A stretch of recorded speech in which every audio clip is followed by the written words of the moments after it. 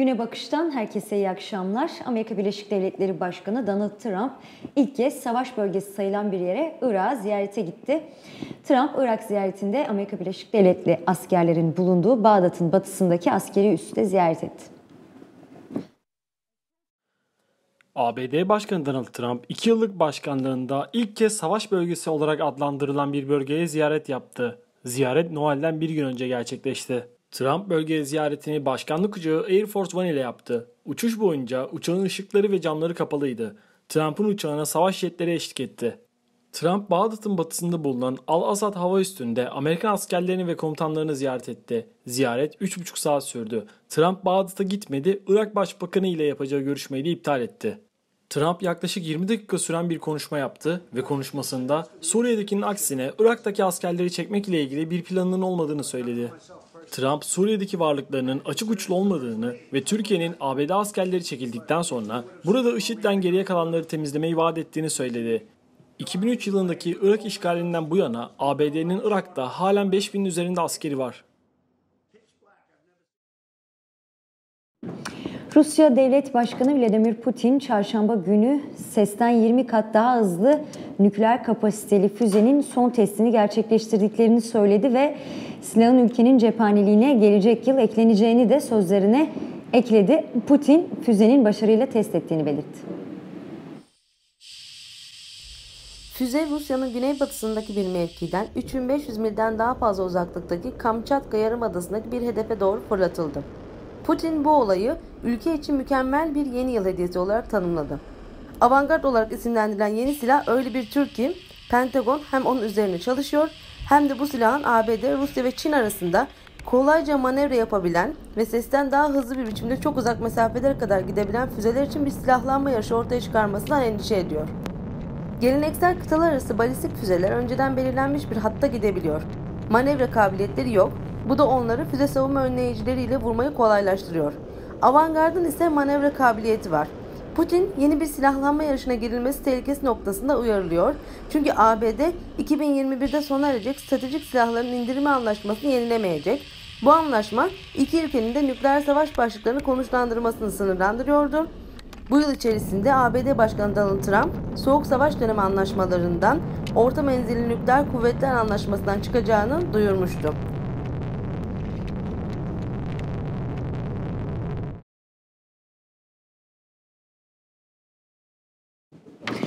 Evet güne bakışta bugün konuğumuz Irak Amerikan Üniversitesi Süleymaniye öğretim görevlisi Barın Kayaoğlu. Hoş geldiniz. Merhabalar, hoş bulduk. Teşekkür ederim.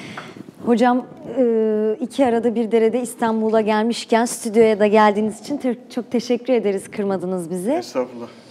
Ee, şöyle başlayalım. Ee, Amerika Birleşik Devletleri'nin Suriye'den çekilmesi ve bunun Kürtler e, üzerindeki etkisini konuşmak istiyoruz sizinle. Öncelikle aslında biraz İran sormak istiyorum. Amerika Birleşik Devletleri'nin aslında son dönemde e, Suriye politikası özellikle İran'ı çevreleme üzerine kurulu dersek bu çekilme kararından sonra bu stratejiye nasıl yön verecek sizce? Nasıl devam ettirecek? Şimdi burada e, öncelikle beni davet ettiğiniz için ben teşekkür ederim. E, sizi görmek her zaman benim için çok büyük zevk. E, sorunuz, e, sorunuzu birkaç şekilde aslında cevaplamak mümkün. Şöyle ki, e, ben Donald Trump'ın İran'ı Suriye üzerinden çevrelemeye çalışırken e, bunu e, savaşmak veya atıyorum bir, bir sene öncesi işte e, e, Birleşik e, Ortak Plan'dan ayrılmayı e, düşündüğünü söylediğinden beri, İran nükleer anlaşmasından e, ayrılma niyetini belirttiğinden beri hani hep böyle bir beklenti vardı işte Amerika er veya geç İran'ı vuracak ama e, Amerika'nın e, Orta Doğu'daki Körfez'deki askeri pozisyona baktığımızda aslında bir, bir geri çekilme demeyeyim ama e, belli bir e, oradaki kuvvetlerini sınırlama, e, bu İran yaptırımlarını çok da e, zor kullanarak değil, Obama yönetimi sırasında 2010, 2011, 2012 işte İran'a nükleer görüşmeler için masaya getirmeye çalışırken ki olduğu gibi finansal yaptırımlarla sanki daha çok çevrelemeye çalışıyor ve daha da önemlisi bölgesel müttefikler üzerinden çevrelemeye çalışıyormuş gibi bir e, izlenim edindim ben açıkçası. Ve Suriye'den çekilmeyi de ilan ettiğinden beri e, e, Donald Trump bu benim e, bu konudaki görüşümde biraz e, pekiştirdi diyebilirim. Yani İran'ı İran'a saldırmak zorunda kalmadan masaya getirmek. Şimdi Donald Trump e, birçok açıdan çok ilginç ve yani gerçekten e, inanılmaz zamanlarda yaşıyoruz. Bunu herhalde hepimiz teslim ederiz. Şöyle bir şey var ama. Şu ana kadar bir Amerikan başkanı için yani son işte Soğuk Savaş bittiğinden beri neredeyse 30 seneden beri e, ilk defa e, neredeyse 2 sene olacak. Ocak 20 Ocak itibariyle 2 sene başkanlığı dolmuş olacak. Şu ana kadar Suriye'ye geçen seneki e, e, 50 işte kruz füzesi attığı şeyden beri onu da bir kenara koyarsak Trump hiçbir yerde savaş başlatmadı. Benim görebildiğim kadarıyla bunu da yapmayacak. Yapmayı istemiyor. Çünkü iktidara gelmesini öncelikle 2015-2016'da Cumhuriyetçi Parti adaylığını yakalaması, daha sonra e, Hillary Clinton'ı devirmesi birçok açıdan Amerika'da izolasyonist, izolasyoncu işte e, geri çekilmeci bir siyaseti, bir dış politikayı savunduğu için şey yaptı. Dolayısıyla hani işte Suriye'deki 2000 e, özel özel kuvvetler birlikleriyle İran'ı zaten çevreleyecek bir hali de yoktu. Ama şunu da belirtti işte haberde de az önce geçtiğiniz Irak'ı ziyaret etti. Irak'tan kesinlikle çekilmiyoruz dedi. Irak'taki e, danışmanlar veya işte bir fiil e, e, muharip Amerikan güçleri oradan çekilmeyecekler. Bunu belirttiler. Irak üzerinden belki işte Irak'ta bir nüfuz oyunu oynayarak belki İran'ı ilk aşamada çevir, çevirmeyi düşünebilirler.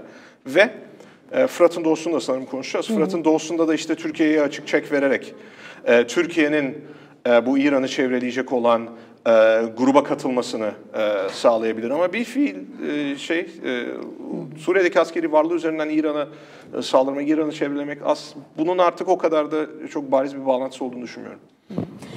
Suriye'ye geçecek olursak hocam bu karar e, Suriye'deki Kürtleri nasıl etkileyecek? Bir süredir e, neticede Amerika Birleşik Devletleri'nin bölgedeki yerel müttefiki e, Kürt e, silahlı gruplarıydı oradaki YPG ve SDG, e, YPG'nin başını çekti.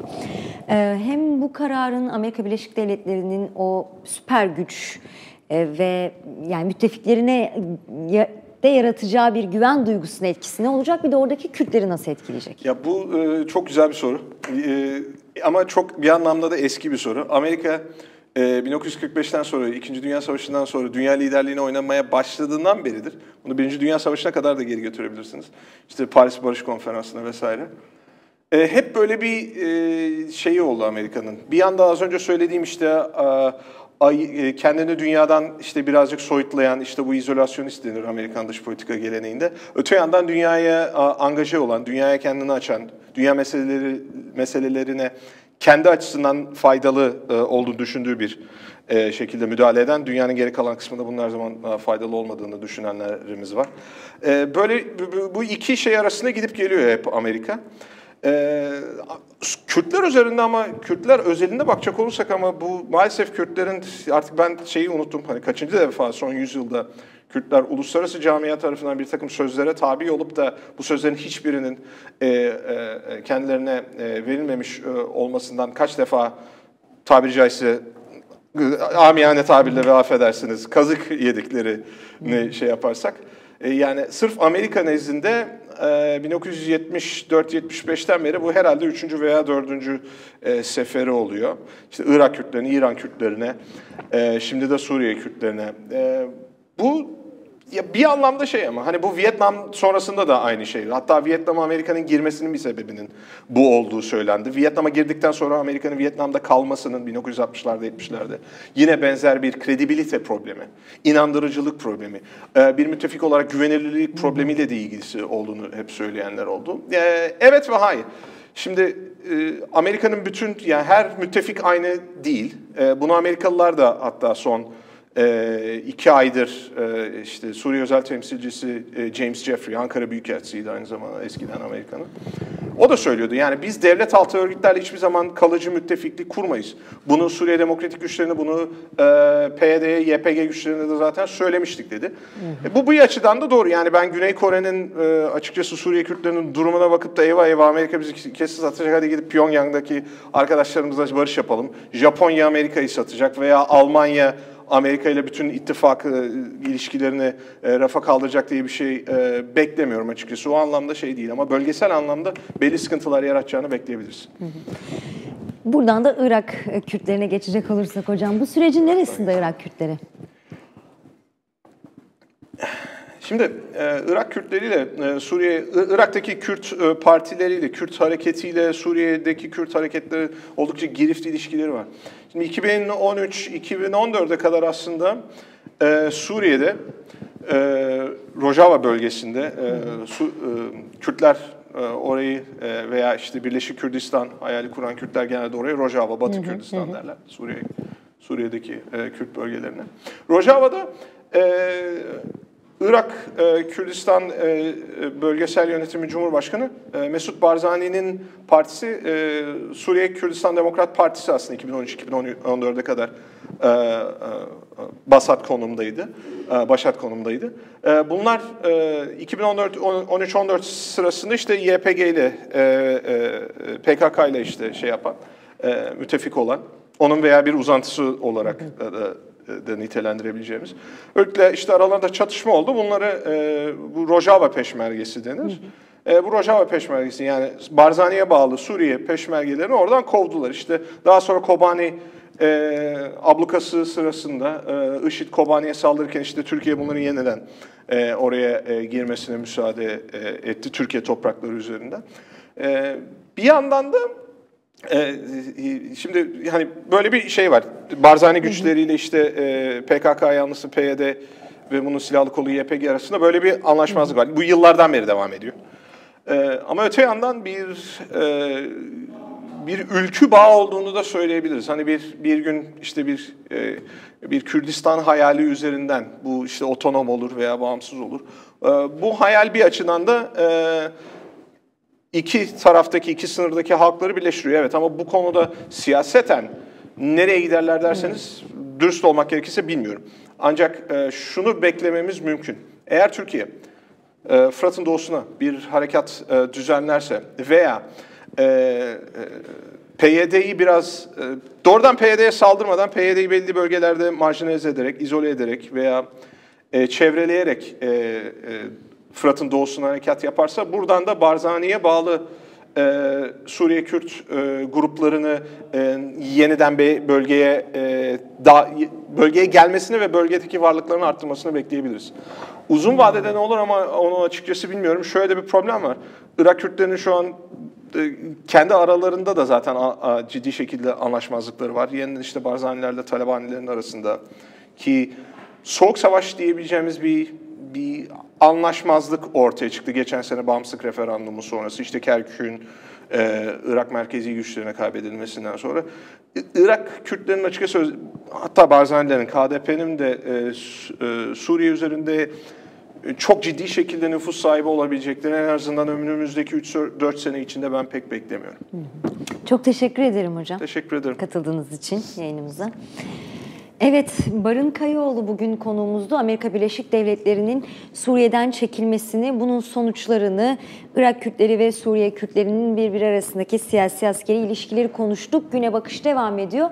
Amerika Birleşik Devletleri Başkanı Donald Trump ile Adalet ve Kalkınma Partisi Genel Başkanı ve Cumhurbaşkanı Erdoğan'ın Rahip Brunson davası sırasında ilişkileri gerilmişti. Brunson'ın serbest kalmasının ardından iki lider iki lider arasında yeniden sıcak bir iletişim başladı. Şükran Şençekiçer bu iki lider arasındaki ilişkinin bundan sonrasını Berke senle konuştu.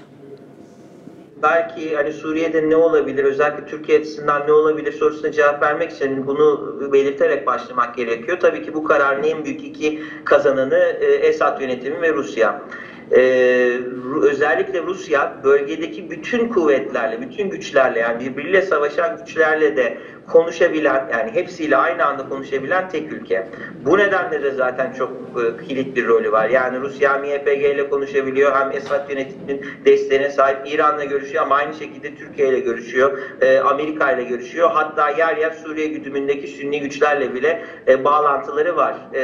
Bölgedeki Amerika'da dahil hiçbir gücün bu tarz bir avantajı yok. Şimdi dolayısıyla e, Türkiye'nin bölgede ağırlığı e, yani şu ana kadarki ağırlığı belli oranda e, Rusya ve Amerika karşısında yani onlarla birlikte müzakere edebilmesi, onlar arasında bir tampon bölge oluşturabilmesi, onları birbiri karşısında kullanabilmesinden kaynaklanıyordu. Amerika bölgeden eğer yani en azından Suriye'den tamamen çekilirse ya da tamamen çekilme noktasına gelirse bu Rusya'nın elini daha da güçlendirecektir. Dolayısıyla hani Türkiye açısından e, şapkasını önüne koyup çok dikkatli e, hareket etme döneminin e, yani zaten başlamıştı ama devam ettiğini e, düşünüyorum. E, Türkiye bölgede ağırlığını arttırmak istiyorsa kesinlikle ve kesinlikle Esad yönetimiyle görüşmesi gerekiyor. Hatta yani YPG ve PYD'nin e, hani be, belli bölgelerde hani onlarla bile bir e, tekrar e, hani konuşma e, yoluna e, gitmesi gerekiyor.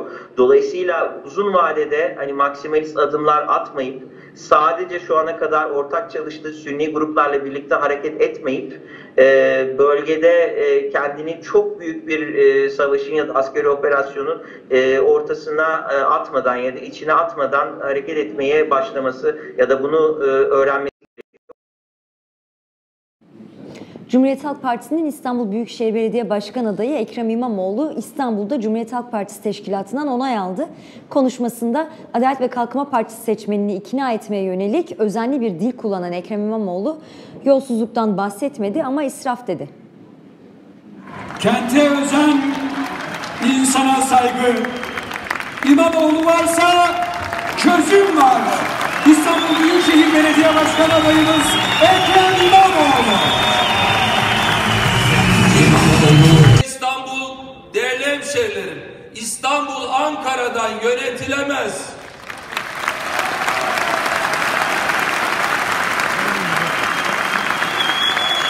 İstanbul İstanbul ne yazık ki iradesi bağlı yöneticiler tarafından da yönetilemez ve yönetilemiyor.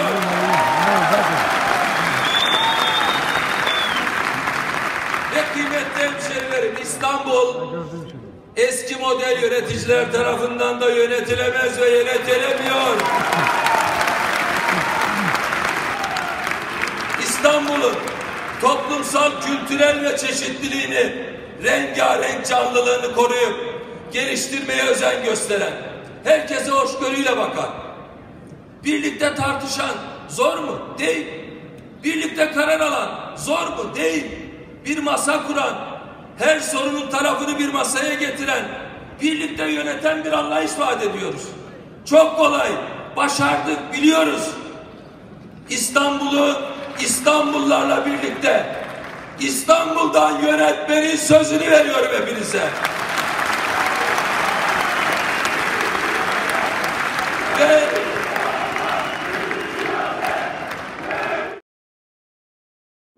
Edgar Şar, Cumhuriyet Gazetesi yazarı Orhan Bursalı ile Cumhuriyet Halk Partisi'nin İstanbul Büyükşehir Belediye Başkan adayı Ekrem İmamoğlu'nun Cumhuriyet Halk Partisi'nin düzenlediği tanıtım toplantısında verdiği mesajları ve Adalet ve Kalkınma Partisi'nin henüz resmi olmayan adayı Binali Yıldırım karşısındaki şansını konuştu.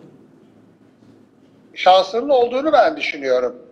Ekrem İmamoğlu'nun. Birincisi e, genç birisi.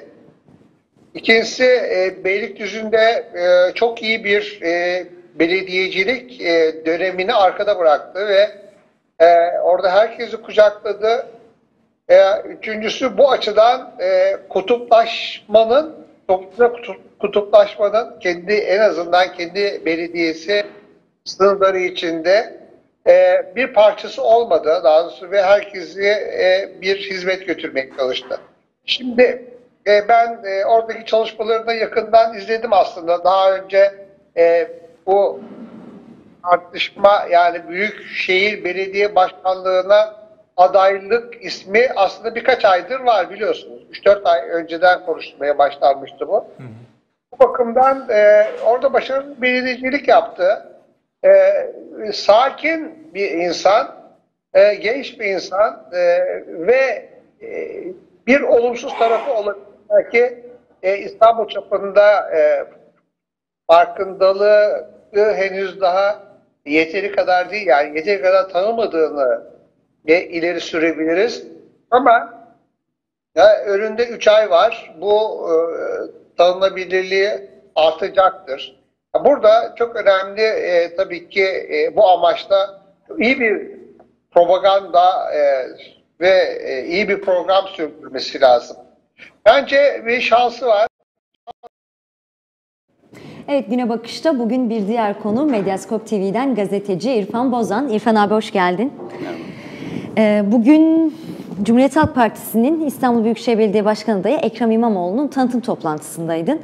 Sen aslında 24 Haziran seçimlerini de sahada e, bizzat birebir takip ettin. Bir önceki seçimi de. E, bu seçimlerde de, yerel seçimlerde de e, aslında ilk e, sahadaki ilk gözlemin, izlenimin olacak belki bu toplantı. E, dinliyoruz seni neler gözlemledin? Tabii bu toplantıyı özellikle merak edip gittim. Çünkü Ekrem İmamoğlu bir kapalı kutu aslında. Hani İstanbul'un merkez belediyelerinden biri olsa az çok dinlemişliğimiz falan olurdu ama İstanbul'un batı ucundaki Beylikdüzü'nün bir belediye başkanıydı. Ve şimdi İstanbul Büyükşehir Belediye Başkanı adayı oldu.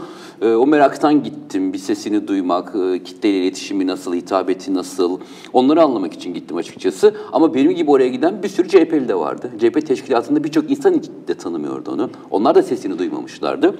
Ve e, şaşırmadım aslında salon doluydu. Bayağı ayakta 3500 kişilik yerde 10 bin kişi falan vardı neredeyse. Dışarıda da bar pozisyonlar kurulmuştu. Tabii burada şey de var yani seçim dönemi olduğu için kulis yapmak için gelenler de vardı oraya ama genel başkan etrafı hiç temas etmedi. Başka bir kapıdan girip başka bir kapıdan çıktılar. Dolayısıyla kulis peşinde olanların çok işine gelen bir toplantı değildi. O da Ekrem İmamoğlu'ydu. Biraz öyle kurmuşlar.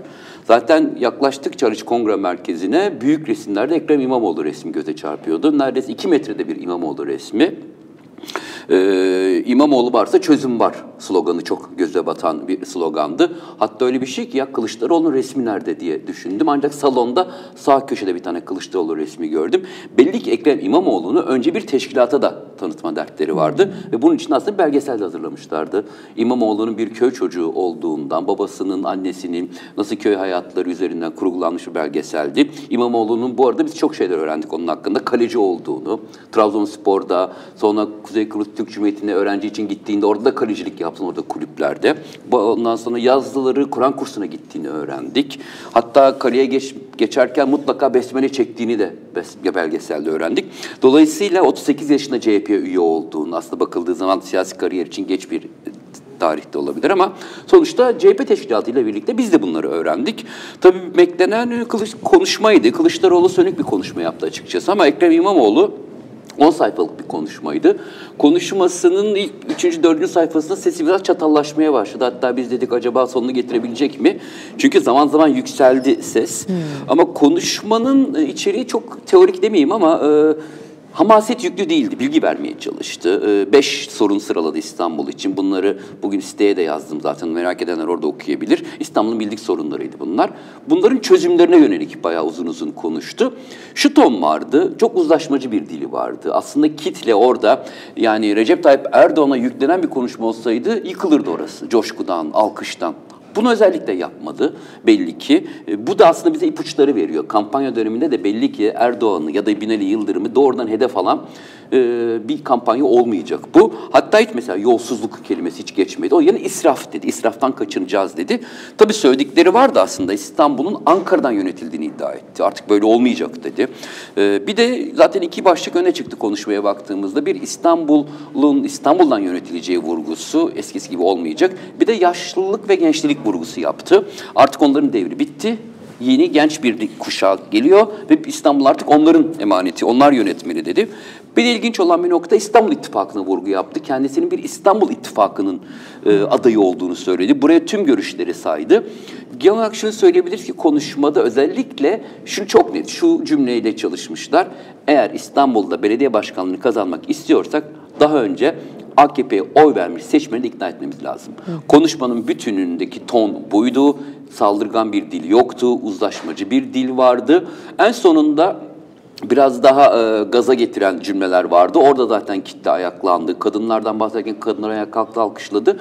Ve son olarak şunu söyleyebilirim ki CHP teşkilatı ilk defa tanışmasına rağmen benimsedi. Salondaki coşkudan bunu görmek mümkündü. Örneğin şunu geçirdim aklımdan. Acaba Gürsel Tekin aday olsaydı, onun toplantısı olsaydı salon bu kadar coşar mıydı? Çok emin değilim. Ama Ekrem İmamoğlu belli ki önce bir e, rüzgar estirildi, olacak olmayacak. Sonra olduğu açıklandı. Belli ki çalışmalar da yürüyor bu konuda. E, kamp kampanyalarda hazırlanmış belli ki belgesel, sosyal videolar orada gösterilmedi ama biliyoruz İmamoğlu'nun böyle çalışmaları var. Ee, tabii klasik biraz CHP'nin düzensizliği vardı. Çünkü çok kalabalıktı. Onlar biraz e, bu konuda çok özen sorunu yaşıyorlar. Gerçi protokol kapısı ve diğer kapı ayrıydı ama tabii çok kalabalıktı. Belediyeler otobüslere doldurmuşlar. Ama genel olarak bence başarılı bir toplantıydı. Asıl ilginç olan teşkilattan güven oyu almış olması. Evet, çok teşekkür ediyoruz İrfan abi. Evet, e, deneyimli gazeteci İrfan Bozan, Ekrem İmamoğlu'nun toplantısındaydı bugün tanıtım toplantısında Medyaskop TV için izledi. E, bu izlenimlerini de Medyaskop TV internet sitesinden yazılı olarak e, İrfan Bozan imzasıyla okuyabilirsiniz. Merak edenler için tekrar hatırlatalım. Güne bakış devam ediyor. 8 Temmuz 2018 tarihinde Tekirdağ'ın Çorlu ilçesinde yaşanan tren kazasında 25 kişi öldü, 341 kişi ise yaralandı. İbrahim Yayan uzmanlar, avukatlar, kazaya tanık olanlar ve yakınlarını kaybedenlere mikrofon uzatıp kazanın neden ve nasıl gerçekleştiği sorularına yanıt aradı. 3 saat olmuş, içmeye suları yok. Hava kararacak ama bir tane ışık yok. Şu anda devlet demir yollarının taşımış olduğu risk 100 kat yüksek. Anne babamı buldum dedi ama ondan sonra gözlerimin içine bak anne dedi babamı buldum dedi. Hadi çıkaralım. Benim kızım gitti gelmeyecek ben biliyorum. Ne traktöre ihtiyaç var ne tanka ihtiyaç vardı. Sadece insanları kurtarmaya ihtiyaç vardı.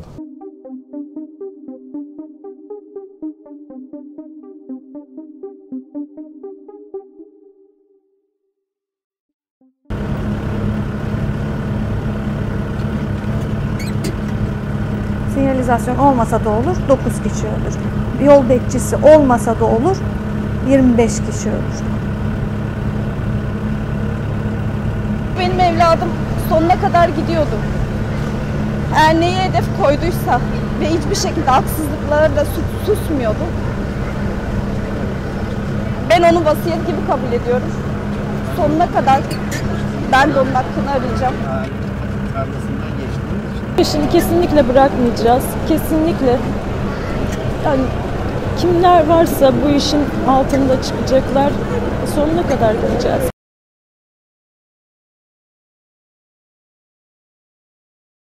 ...2019'da asgari ücret brüt 2558 lira, net 2020 lira olarak ödenecek.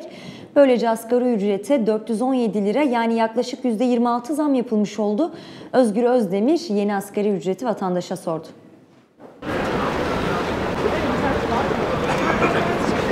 Yetersiz, çok yetersiz. Nereden baksanız şu soğuk günde mesela en azından en az yakın aile 300 lira doğalgaz yakar. Bir. Ondan sonra nereden baksanız bir 100-120 lira elektrik gelir. Bir o kadar onun biraz üstüne su parası gelir. Ee, Bakırdan maddeler aldı başını gitti. Nasıl şey yapacak adamlar? Asgari ücret çok güzel. Yani Allah razı olsun hükümette gayet vatandaşını düşünüyor, ona göre veriyor. Ee, kendilerine son derece yüksek zam yaparlarken, maaşları 70 küsür bin lirayken e, 4 çocuklu ya da 3 çocuklu ya da 2 çocuklu bir ailenin geçinmesi mümkün değil. Bununla sinemaya mı gidecek, tiyatroya mı gidecek, kitap mı alacak, karnını mı doyuracak? Yani her gün simit ve çorba yese bile bu miktar çok daha üstüne çıkacaktır diye düşünüyorum. Yani şu andaki ekonomik koşullarda yapılan zam esas da yüksek bir zam.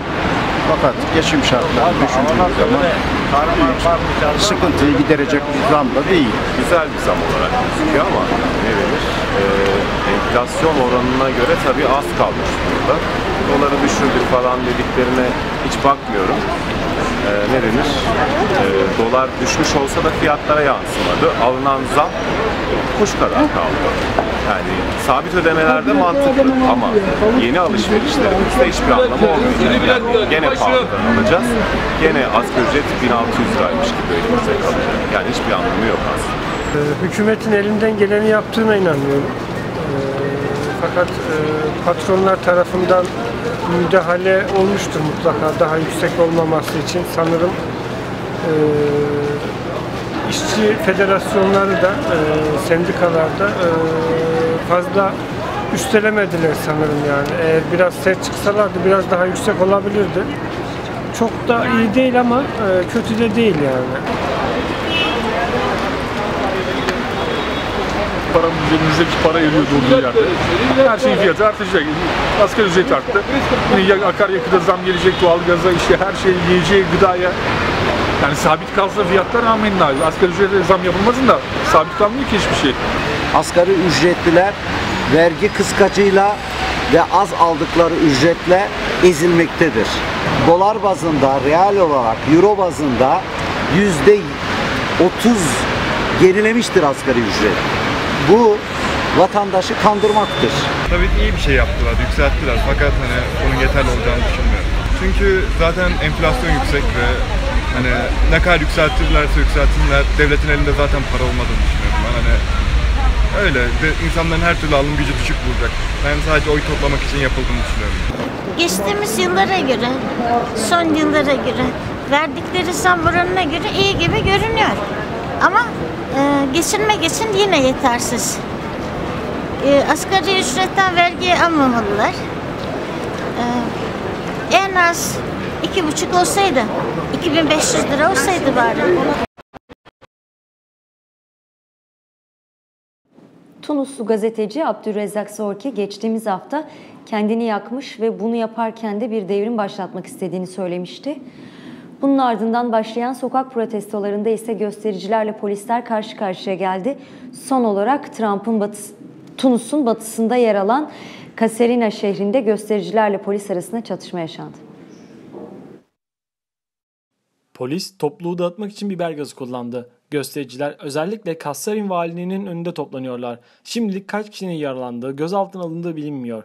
Tunus uzun süredir yüksek enflasyon ve işsizlik ile baş ediyor. Bu durum sosyal şartları ağırlaştırıyor. Kaserin bölgesi Tunus'un en fakir yerlerinden biri ve son yıllarda ekonomik durum daha da ağır bir hal aldı. 32 yaşındaki gazeteci Zorku'yu Kaserin bölgesinde yaşıyordu. Pazartesi akşamı işsizliğe ve giderek kötüleşen ekonomik şartlara karşı devrim başlatma amacıyla kendini yakarak öldürmüştü. Tunuslu Gazeteciler Ulusal Sendikası ise Kaserin bölgesinin geleceksizlik, umutsuzluk ve zorlaşan sosyal şartların vurduğu bir yer olduğunu ve Zorkui'nin bunu protesto ettiğini açıkladı.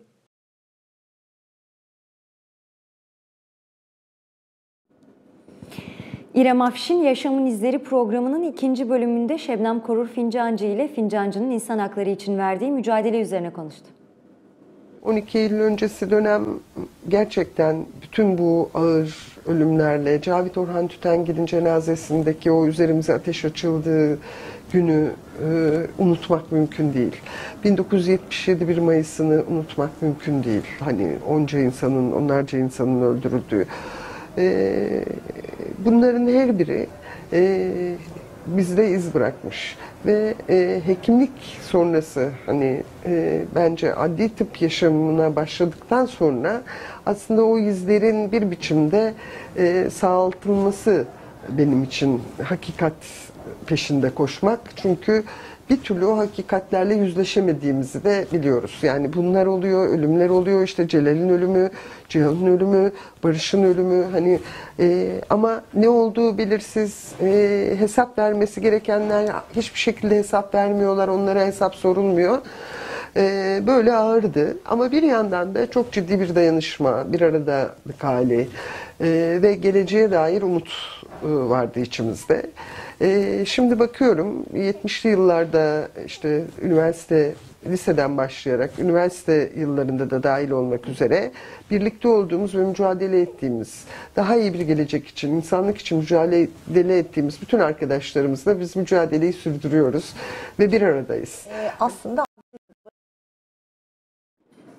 Mecliste tartışılan ve alt komisyona gönderilen maden kanununu ve bazı kanunlarda ve kanun hükmünde kararnamelerde değişiklik yapılmasını öngören yasa tasarısını gazete duvar yazarı Önder Algedik Recep Berber'e değerlendirdi. Ee, yaklaşık olarak 6 7-8 tane mevzuatı değiştiriyor ama bunu tanımlamak da çok güç. Mesela ben 6 desem siz 7 deseniz kimizden birisi mutlaka haklıdır ama e, ne olduğunu anlamak mümkün değil. Çünkü o kadar açık bir tasarı değil. İncelediğiniz zaman maden kanunu dışında e, elektrik kurumu ile ilgili bir kanun değiştiriyor. 3096 sayılı kanun. E, LPG ile ilgili kanunu değiştiriyor. Petrol kanunu değiştiriyor. Petrol piyasası kanunu değiştiriyor. Yenilenebilir enerji ile ilgili kanun değiştiriyor. Bütün bunlar bitiyor. Sonra daha yenilerde değişmiş, çıkmış iki kararnameyi değiştiriyor. Yenilerde dediğimde mesela e, nükleerle ilgili bir şey çıktı hatırlarsınız. E, kararname çıktı. E, teşkilatlanma ile ilgili Temmuz ayında. E, bunu değiştiriyorlar.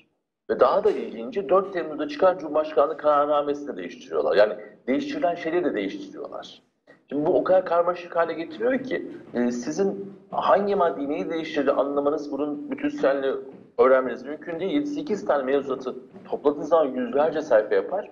Bunun üzerine e, milletvekilleri karar vermesi istiyorlar. Bu da hiç imkanı olan bir şey değil. Eksik olan programında Alp Kozanoğlu ve Ömer Çeşit konukları Ozan Sağsöz ile Sağsöz'ün kitabı İbn Haldun'un mukaddimesinde maişet yolları üzerine konuştular. Ee, 14. yüzyıl e, Kuzey Afrika'sında ve e, Endülüs coğrafyasında yaşamış e, çok yönlü alim, siyasetçi, Evet, e, kadı. Her şeyi yapmışlar. Evet. Yani e, hani şey olsa ben e, onu düşünüyordum. Yani hayatı filme çekilecek ender insanlardan birisi. E, çünkü yani hayatı traji, trajik yanları da var. E, siyasetin içine giriyor. Yani şöyle kısaca bir bahsedeyim. Tunus'ta 14. yüzyılın başlarında doğuyor. Ailesi Endülüs'ten göçmüş. E, önemli bir aile. Babası, dedesi siyaset içinden e, siyaset içinde bulunuyor. E, yüksek makamlara geliyor. Dedesi, babası e, alim. Kendisi ve kardeşi de e, Tunus'ta iyi eğitim görüyorlar. Sonrasında siyasete yöneliyor. Dedesinin yolundan giderek siyasete yöneliyor. Ve yaklaşık 1370'lere kadar, 1326, 25, 26 idi doğumu e, yanlış hatırlamıyorsam, 70'lere kadar siyaset içinde e, yer alıyor. E, bütün şeyde çok önemli aslında yaşadığı dönem bir kriz dönemi. Fotoğraf sanatçısı Lütfiye Özgünaydın'ın her ay bir edebiyatçıyla sürdürdüğü edebiyat ve fotoğraf sohbetlerinin bu ayki konu Müge İplikçi'ydi. Merve Özçelik, Müge İplikçi ve Lütfiye Özgünaydın'la konuştu. yılındaki e, liselerde okutulan edebiyat kitaplarında komisyon yazarı diye olur hep komisyon yazar. Onların başındaydım ben. Bu proje, yazarlarla ilgili proje, Yaşar Kemal ile ilgili yaptığım çalışmadan sonra şekillendi. Yaşar abiyle bir çalışma yaptık, Çukurova'yı çektim. Sonra kendi fotoğraflarını çektim ve bunu İstanbul'da sergiledik. Sonra e, Almanya'da, Frankfurt'ta sergiledik. Sonra Paris'te sergiledik. Ve Paris'te muhteşem bir ilgi gördü. Çok etkilendim. Bir ara vermiştik fakat sonra neden devam etmiyorum dedim ve Doğan Hızlan'la başladık. Doğan Hızlan çünkü bu ülkenin çok önemli bir yazarı ve bir bilge benim için. Sonra işte Zeynep Oral, e, ondan sonra e, Feridun Andaç, e, işte Adnan Bin Yazar, Ayşe Kulin, nihayet Müge İplikçi'ye geldik. Müge İplikçi genç bir yazar. Ben çok etkilendim kitaplarından. Ve onunla bu çalışmayı yaptığım için çok mutluyum. Ve bu proje devam edecek. İşte 20 yazar olacak. 20 yazar olduktan sonra bir kitap, TÜYAP özellikle talip bu kitaba, TÜYAP bir kitap yapacak. Şimdi önümüzdeki e, ay Yalvaç Ural var. Yalvaç Ural'dan sonra e,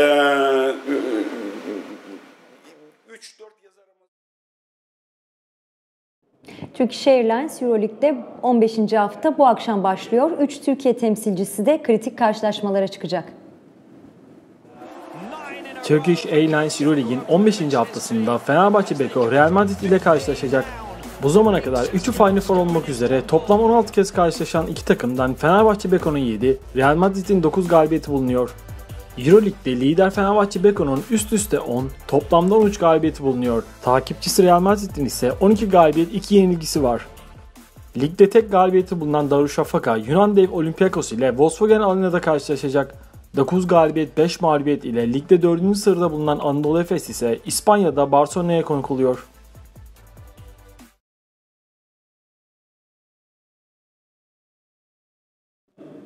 Güne Bakış'ın bu akşamlık sonuna geldik. Medyaskop TV'nin 170. açık oturumu var sırada.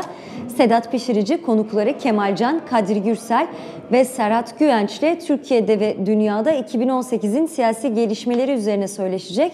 Saat 21.30'da ise İbrahim Yaya'nın hazırladığı tarihe kayıt Çorlu tren kazası dosyasının tekrarını izleyebilirsiniz. Bizi izlediğiniz için teşekkür ederiz. İyi akşamlar.